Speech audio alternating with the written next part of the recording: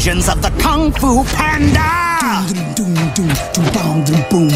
Raised in a noodle shop, never seeking glory or fame. He climbed the mountaintop and earned the Dragon Warrior name. Kung Fu Panda.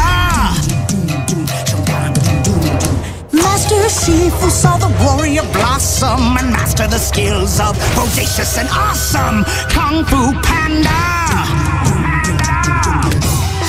He lives and he trains and he fights with the furious five. Protect the valley, something, something, something, something alive. Kung Fu Panda. Legends of awesomeness.